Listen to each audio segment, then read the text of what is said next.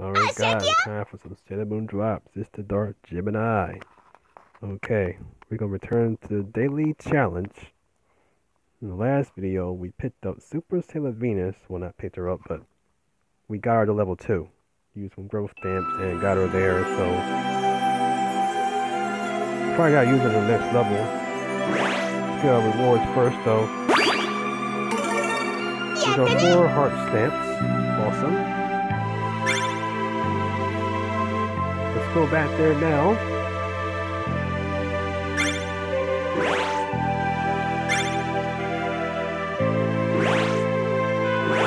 Let's bring Super Sailor Venus back into play.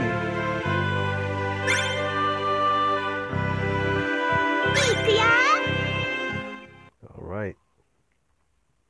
Come on, SS Venus. Let's get this bad boy in.